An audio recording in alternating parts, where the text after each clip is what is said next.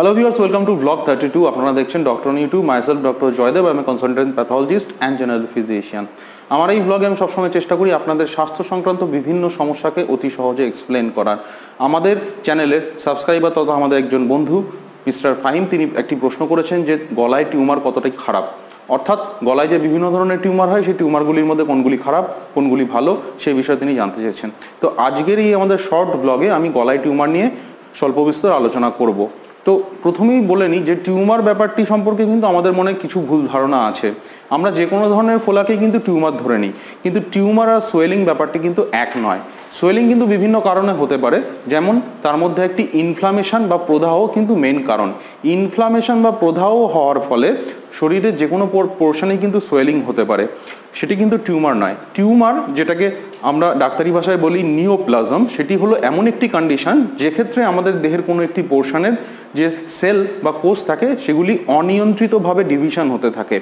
আবার টিউমারের মধ্যে কিন্তু বিভিন্ন রকম টাইপ আছে, যার মধ্যে বিনাইন আছে ম্যালিগনেন্ট আছে। আমি আগের ভিডিওগুলিতে আলোচনা করেছি, বিভিন্ন ভিডিওতে কিন্তু আলোচনা করেছি বিনাইন টিউমার ম্যালিগনেন্ট টিউমার কি, তাও এখানে একটু শর্টে বলে নিই বিনাইন টিউমার বলতে সেই টিউমার যেক্ষেত্রে কিন্তু টিউমারটির ক্যান্সার হওয়ার পসিবিলিটি খুব কম।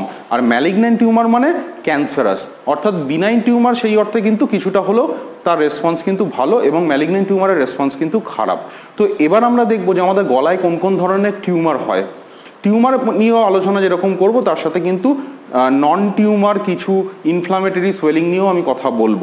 কারণ আমাদের পক্ষে কিন্তু ইনিশিয়ালি ডিভাইড করা কিন্তু খুব কঠিন যে এটা আদৌ টিউমার না অন্য কোনো সোয়েলিং তো সেক্ষেত্রে আমাদের ভারতবর্ষ বা বাংলাদেশের মতো দেশের গলায় যে সোয়েলিংগুলো হয়, তার মধ্যে কিন্তু একটি মেন কারণ কিন্তু টিউবারকুলোসিস হতে পারে। টিউবারকুলোসিসের ক্ষেত্রেও কিন্তু আমাদের গলায় যে সার্ভাইকাল লিম্ফ নোটস থাকে, তার সোয়েলিং হতে পারে এবং সেটাকে কিন্তু অনেকে টিউমার ভেবে নিতে পারেন। বিভিন্ন রকম পরীক্ষা নিরীক্ষা করে, যার মধ্যে একটি প্রধান পরীক্ষা হলো এফএনএসি এফএনএসি টেস্ট করে কিন্তু সেই সেটি টিউমার, না, কোনো রিয়াক্টিভ সোয়েলিং নাকি কোনো ইনফ্লামেশনের জন্য হয়েছে, সেটা কিন্তু আমরা নির্ণয় করতে পারি এবং তার ফলে তার যদি আমরা প্রকৃত ট্রিটমেন্ট দেওয়া যায়, সেক্ষেত্রে রেসপন্স কিন্তু খুব ভালো হয়। তো একটি কারণ হলো, গলায় কিন্তু টিউবারকুলোসিস বা টিউবারকুলার লিমফ্যাডেনোপ্যাথির জন্য সোয়েলিং হতে পারে, যেটাকে আমরা টিউমার ভেবে ভুল করতে পারি। এবং এটা লোকেশন সাধারণত এই সার্ভাইকাল রিজিয়নে এই সব জায়গায় কিন্তু হতে পারে। এরপরে যে প্রধান একটি কারণ থাকে যার জন্য গলায় সোয়েলিং হতে পারে, সেটা কিন্তু থাইরয়েডের সোয়েলিং সাধারণত থাইরয়েডের সাধারণত থাইরয়েডের সোয়েলিং মিড লাইন বরাবর হয়। এবং থাইরয়েডের সোয়েলিং কিন্তু বিভিন্ন কারণে হতে পারে। কিছু রিয়াক্টিভ কন্ডিশনে হতে পারে, কিছু বিনাইন কন্ডিশনে হতে পারে, কিছু ম্যালিগনেন্ট কন্ডিশনেও কিন্তু থাইরয়েডের সোয়েলিং হতে পারে। খুব কমনলি যে কারণে থাইরয়েডের সোয়েলিং আমরা দেখে থাকি সেটা হলো গয়টার গয়টার হলো একটা থাইরয়েড গ্ল্যান্ডের এনলার্জমেন্ট এবং তার পিছনে কিন্তু বিভিন্ন রকম কারণ থাকতে পারে, যার মধ্যে আয়োডিন ডেফিসিয়েন্সি কিন্তু একটি প্রধান কারণ। তো এই থাইরয়েডের এই যে সোয়েলিং যেটাকে আমরা গয়টার বলে জানি, সেটা কিন্তু প্রগনোসিস ভালো। সেক্ষেত্রে প্রপার ট্রিটমেন্ট এবং দরকার হলে সেক্ষেত্রে সার্জিক্যাল ট্রিটমেন্টও কিন্তু দেওয়া যেতে পারে। এছাড়াও থাইরয়েডে কিন্তু বিভিন্ন রকম ম্যালিগনেন্ট টিউমারও হতে পারে, যার মধ্যে প্যাপিলারি কার্সিনোমা হতে পারে মেডুলারি কার্সিনোমা হতে পারে, তাছাড়াও বিভিন্ন রকম লিম্ফার নিওপ্লাজমও কিন্তু থাকতে পারে। থাইরয়েড ছাড়া আর গলায় যে কারণগুলিতে সোয়েলিং হতে পারে, তার মধ্যে একটি খারাপ কন্ডিশন আছে, যেটাকে কিন্তু আমরা বলি যে সার্ভাইকাল মেটাস্ট্যাসিস বিভিন্ন জায়গার ক্যান্সার যেমন হচ্ছে লাঙের ক্যান্সার বা ওরাল ক্যাভিটি বা আপার রেসপিরেটরি ট্র্যাক্ট এইসব জায়গায় যদি কোনো ক্যান্সার থাকে, সেই ক্যান্সার কিন্তু স্প্রেড করে গলায় আসতে পারে এবং সেক্ষেত্রে গলায় একটি টিউমার হিসাবে কিন্তু প্রেজেন্ট করতে পারে। সেই টিউমারের কিন্তু বৈশিষ্ট্য হচ্ছে যে সেই সোয়েলিংটা সাধারণত পেইনফুল হয় না।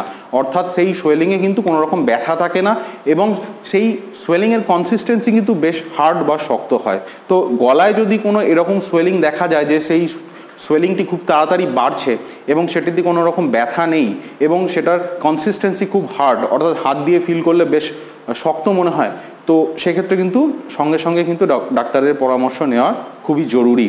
এছাড়াও আরও বিভিন্ন রকম কিছু রেয়ার কন্ডিশন থাকে, যেমন হচ্ছে যে প্যারাগ্যাংলিওমা বলে একটি কন্ডিশন আছে, যেটা আমাদের কিন্তু নেকে সোয়েলিং হিসাবে কিন্তু প্রেজেন্ট করতে পারে।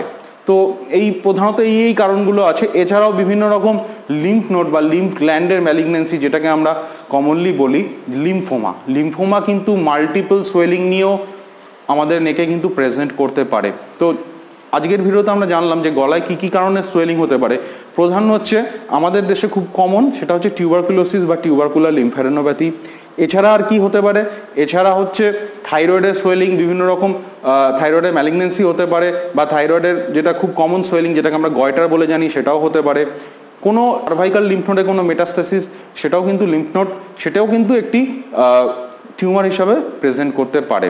তো আজকের ভিডিওতে আমরা দেখলাম যে কোন কোন কারণে গলায় সোয়েলিং হয় এবং গলায় টিউমার হতে পারে এবং সেক্ষেত্রে কিন্তু আমাদের যে কোনো টিউমারের ক্ষেত্রেই বা সোয়েলিংয়ের ক্ষেত্রে কিন্তু সঙ্গে সঙ্গে ডাক্তারের পরামর্শ নেওয়া উচিত এবং সেক্ষেত্রে দরকার হলে কিন্তু আমাদের এফএনএসি বা অন্যান্য পরীক্ষা করা খুবই জরুরি।